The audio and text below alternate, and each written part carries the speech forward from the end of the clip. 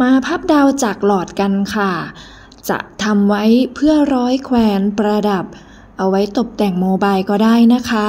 ทำตามภาพไปเลยค่ะ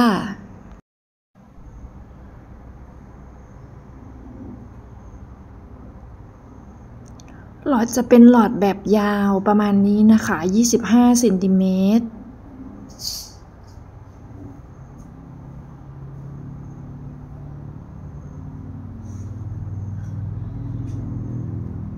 ขนาดหลอดก็อยู่ที่ 8 มิล